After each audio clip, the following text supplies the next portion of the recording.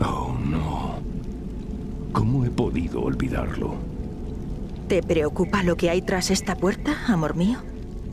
Esta puerta lleva a la prisión de Illidan Tirande.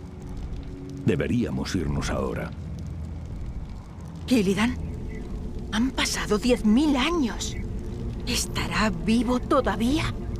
Deberíamos liberarlo, Malfurión.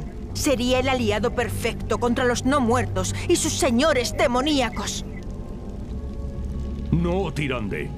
Esa bestia no debe ser liberada jamás. Pero es tu hermano. Sea como sea. Es demasiado peligroso. Te lo prohíbo. Solo la diosa puede prohibirme algo.